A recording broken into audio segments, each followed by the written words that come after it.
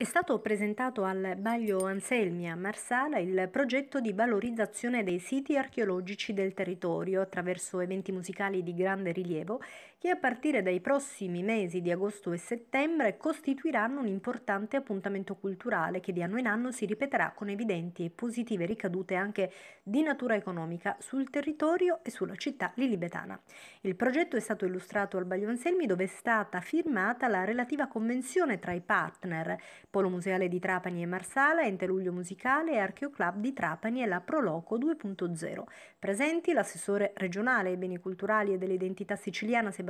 Tusa, Eleonora Locurto, ideatrice dell'iniziativa, Ivana Inferrera per l'Archeoclub di Trapani e Mario Ottoveggio per la Proloco 2.0, oltre al sindaco Alberto Di Girolamo. Si tratta di un ulteriore tassello per eh, fidelizzare e attrarre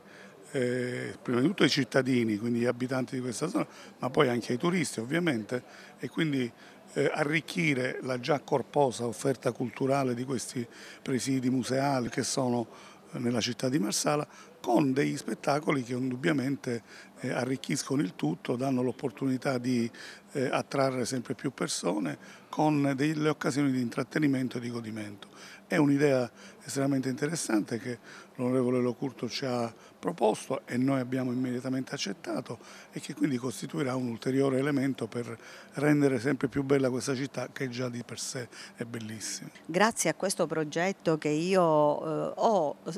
dire, ho, lanciato l'idea, poi è stata accolta benevolmente eh, sia dall'assessore Tusa, dal direttore Biondo, ci sarà anche la Proloco 2.0 perché sono ragazzi in gamba capaci di organizzare bene e l'ente Luglio Musicale che ha la know-how artistica chiaramente, eh, ho messo su questa, questa idea eh, e saranno allocati all'interno di questi siti archeologici al tramonto, perché il tramonto è un'altra delle straordinarie bellezze del nostro territorio, eh, degli eventi musicali eh, importanti, non il concerto solamente, per carità ci potrà pure essere, questo serve anche per attrarre gente, però l'obiettivo è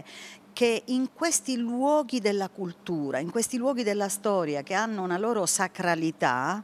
si impari a vivere e a godere uno spettacolo di carattere culturale, anche un modo per socializzare un'esperienza diversa. Stiamo montando la famosa nave romana, abbiamo pulito il parco finalmente dopo tanti anni di abbandono. Stiamo pensando a aprire questo parco e renderlo quanto più visitabile e quanto più dei marsalesi, quanto più dei turisti che arrivano in questo luogo. L'idea è di una convenzione con delle realtà anche locali, ma non solo,